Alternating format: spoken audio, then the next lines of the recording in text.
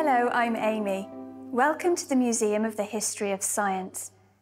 Instruments from some of the most important scientific breakthroughs of the modern era are here. The museum has an unrivaled collection of scientific artifacts, and there are incredible objects wherever you look. This device was used by the Italian inventor Guglielmo Marconi to illustrate how radio waves work. Whenever he pushed a button, a bell would ring on the other side of the room. This was the first step towards the invention of the radio, which began the age of the mass media. Biologists in the 1930s and 40s used this apparatus to develop and test the revolutionary drug penicillin. It was wartime, so they had to be innovative and even improvised with biscuit tins. But despite the lack of proper equipment, this research led to the large scale production of the world's first antibiotic. Since then, the drug has saved millions of lives. But neither this penicillin apparatus nor Marconi's radio wave device is the most popular item on display in the museum.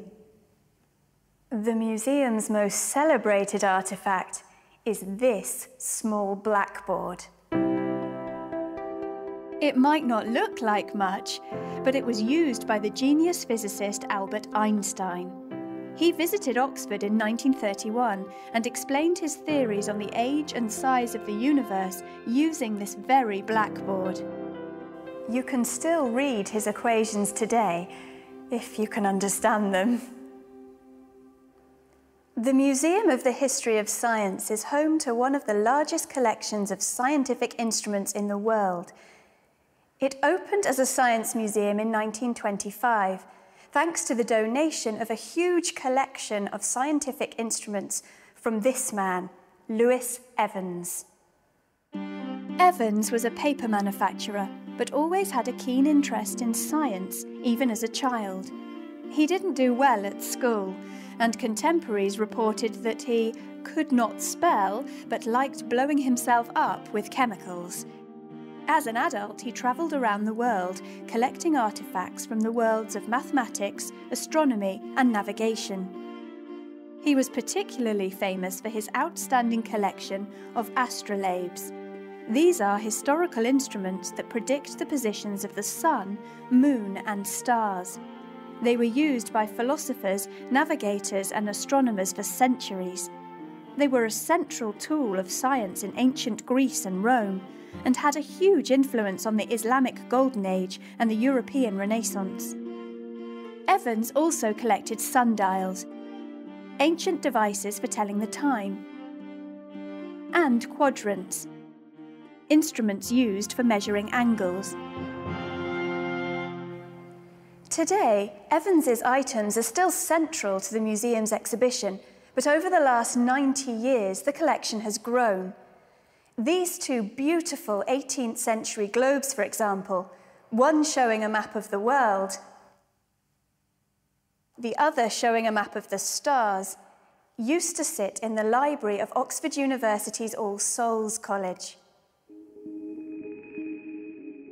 This ornate silver microscope belonged to King George III.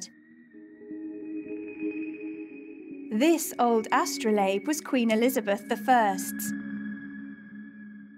And the famous British engineer Isambard Kingdom Brunel owned this sextant, an instrument used to measure the angles between two points. There's an old clockwork universe showing the orbits of the solar system